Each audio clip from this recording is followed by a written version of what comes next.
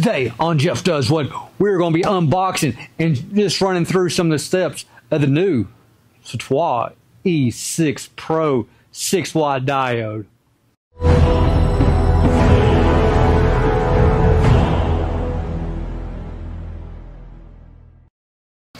What up, y'all? The Jeff Wilson. And today on Jeff Does What, we have the Swiitol diode laser. Now this laser right here is the E6 Pro. We're going to get everything all unboxed for y'all today and run a few tests with it to see how this laser stacks up amongst a lot of the others. Now this thing is nicely packed off in here. Lots of parts. I'm seeing airline, air pumps, which is always great on a diode laser or any laser in general. Just to have that air pushing through.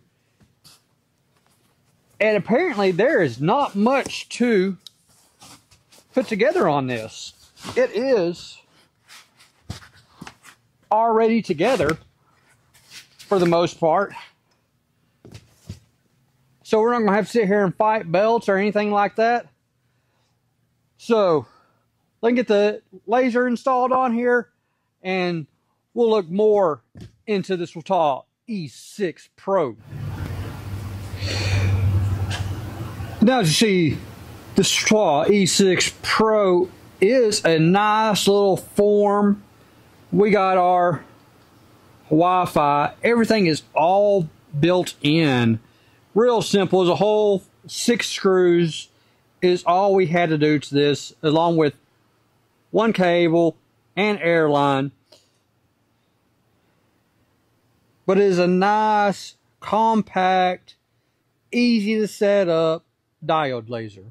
Now, just out of the box, like I said, it's real simple and easy to set up.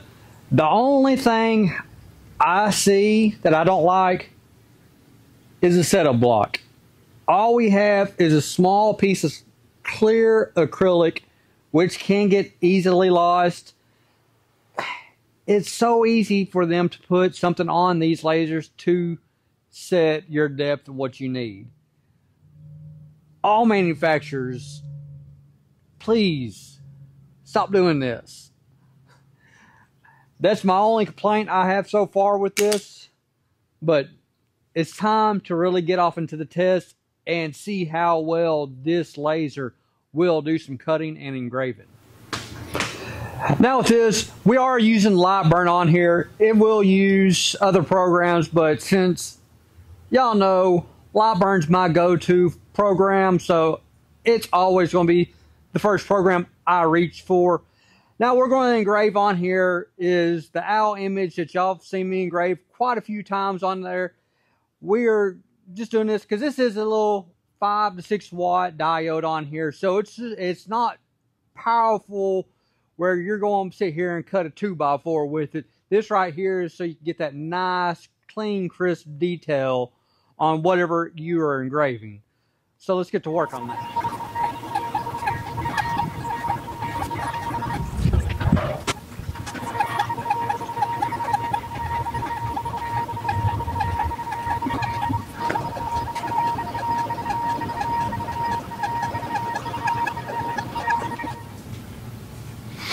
Right, y'all. I actually stopped this, realizing my settings aren't just right. Now, it's, it is getting some nice detail, but I am slowing my speed down a little bit and going to bump up the power a little bit on there.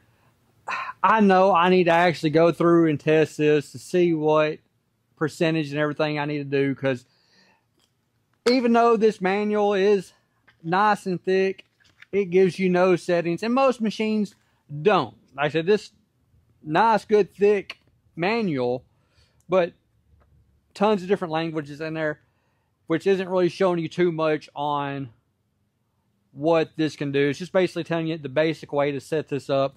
So I'm going to go through, change some of the settings on here, and get this where it's going a little bit more power to hopefully bring in a lot more detail. It is looking good already, but I know it can do better, and we're going to make that happen.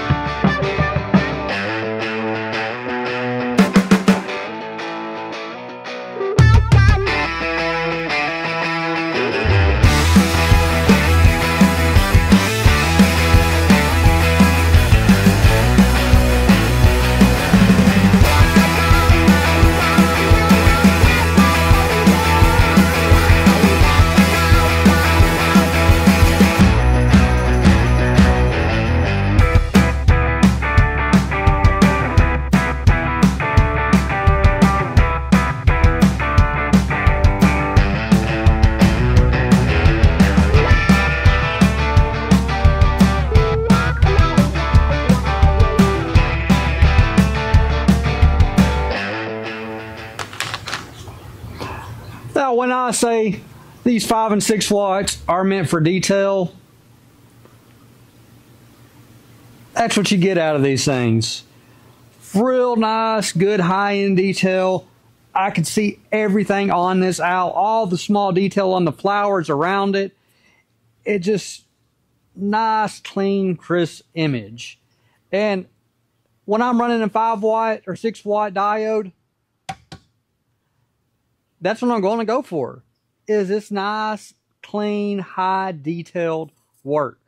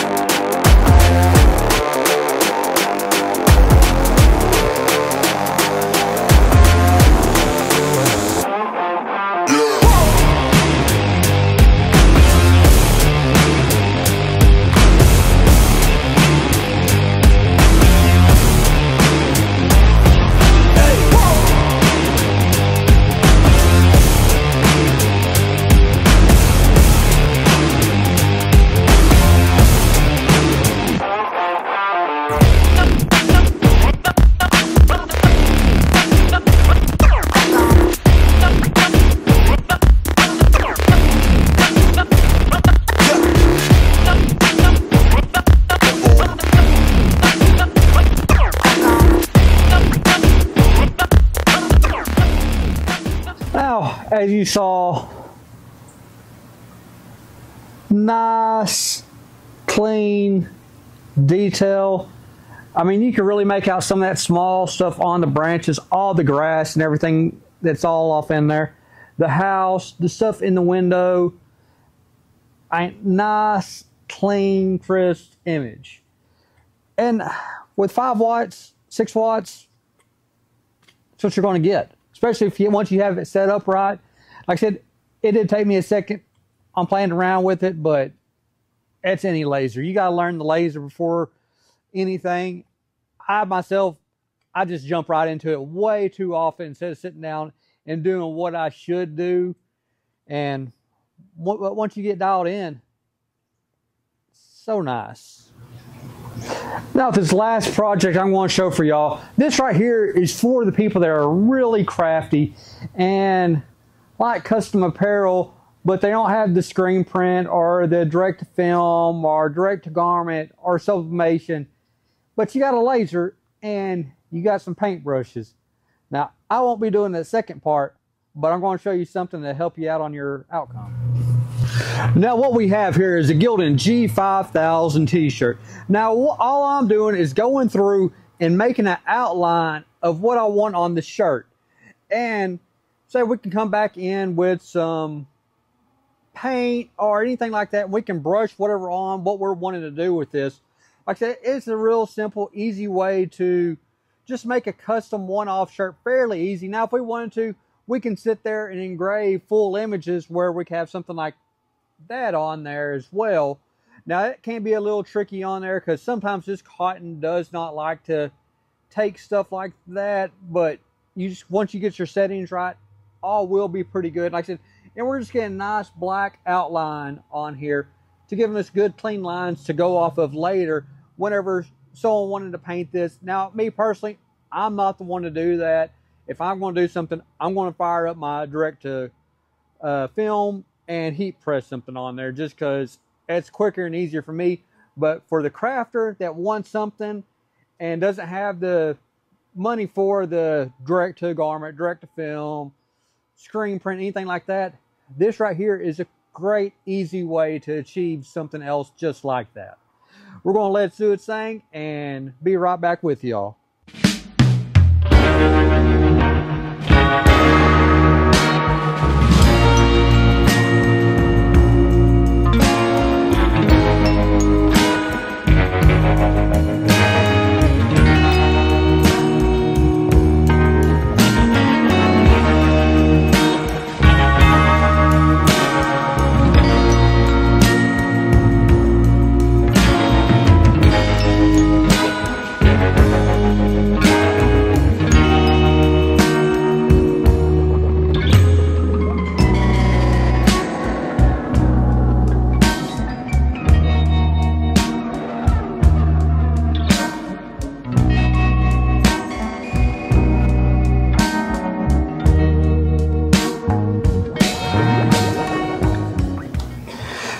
Now this, we got a nice outline that you can go through and paint. I did get a little too hot in this one corner for some reason.